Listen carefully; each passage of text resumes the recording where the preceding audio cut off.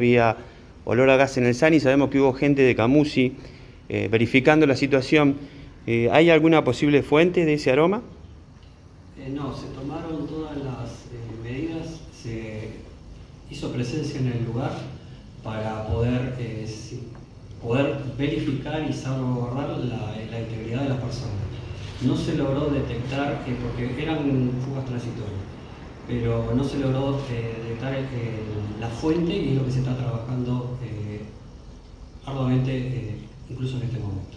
¿Ustedes creen que esto es gas, digamos, de alguna red o, puede ser algún tipo de venteo de alguna planta cercana? No, venteo está descartado porque es lo primero que se descartó.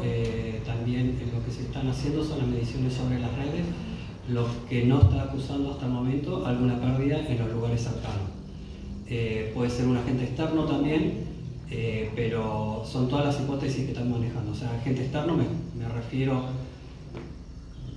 por ejemplo, si no estoy aseverando que sea, que haya una camioneta con eh, elementos, porque el, gas natural, no quiero, no quiero extenderme y, sacar el eje de la reunión, pero el gas natural en líneas generales no tiene olor. Nosotros le inyectamos un odorante para que la gente ante cualquier pérdida pueda eh, identificar y alertarse sobre el riesgo que, conlleva.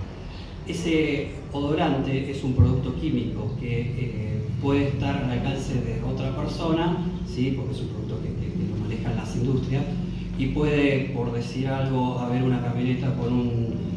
Eh, es, muy potente, unas gotas... el mercaptano, ¿no? El mercaptano difunden un olor muy intenso, apenas una gotita y un vehículo, por ejemplo, con trapos o, algo por el estilo, puede eh, estar ocasionando. No, no queremos eh, aseverar hasta que no estamos trabajando sobre la causa, pero bueno, las hipótesis pueden ser eh, de esas hasta algo más simple como un vehículo GNC que tenga una pérdida, y, y esté circulando por la ciudad y eso es lo que está originando en distintos sectores porque tampoco es un solo sector, es en distintos sectores y, encima diametralmente opuestos en donde se siente el olor. Entonces, eh, no antes de aseverar que es un agente externo, queremos de nuestra parte dar las razones de que eh, realmente no tenemos un problema de una pérdida que,